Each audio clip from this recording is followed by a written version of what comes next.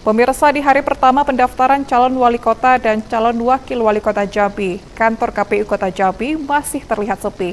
Namun kendati persiapan sudah terlihat di KPU saat ini. Denny Rahman, Ketua KPU Kota Jambi mengatakan, di hari pertama ini tidak ada paslon yang melakukan pendaftaran.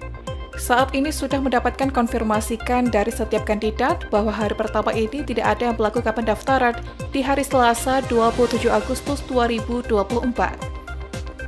Lebih lanjut ia mengatakan, Rabu 28 Agustus 2024 dan Kamis 29 Agustus 2024 baru ada paslon yang melakukan pendaftaran. Berdasarkan peraturan KPU nomor 2 tahun 2024 tentang tahapan dan jadwal pemilihan gubernur dan wakil gubernur, bupati dan wakil bupati, serta wali kota dan wakil wali kota tahun 2024. Di dalam PKPU tersebut, dapat kita ketahui bahwa pendaftaran pasangan calon dijadwalkan pada 27 hingga 29 Agustus 2024. Untuk persiapan KPU Kota Jambi dalam menyambut pendaftaran pasangan calon uh, wali kota dan wakil wali kota Jambi yang akan berlangsung di tanggal 27, 28, dan 29. Kemungkinan uh, untuk tanggal 28 yang sudah memasukkan surat yang sudah mengkonfirmasi melakukan pendaftaran itu dari pasangan calon Pak Maulana dan Dija itu sudah di tanggal 28 besok.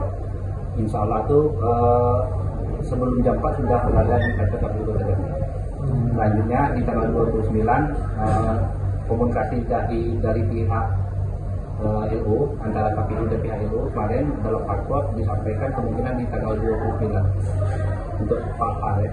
Pak A di tanggal 29 pagi dan ya kalau Budi tidak ya? Kalau Budi kemarin kan sebelum apa kemarin uh, dari pihak LU-nya menyampaikan di tanggal 29 juga. Hmm. Tapi kan sebelum uh, apa terjadi ya, uh, rekomendasi yang lainnya supaya yang lainnya itu kan tapi komunikasi kami kemarin dengan beberapa itu menyampaikan ya itu mungkin belum belum pasti kan belum pasti gitu kan tapi yang sudah pasti kan sudah memang disampaikannya itu dari Pak Maulana dan Pak Sementara itu, Denny mengatakan pelaksanaan pemungutan suara akan digelar pada Rabu 27 November 2024. Heru Syaputra, Cek TV, melaporkan.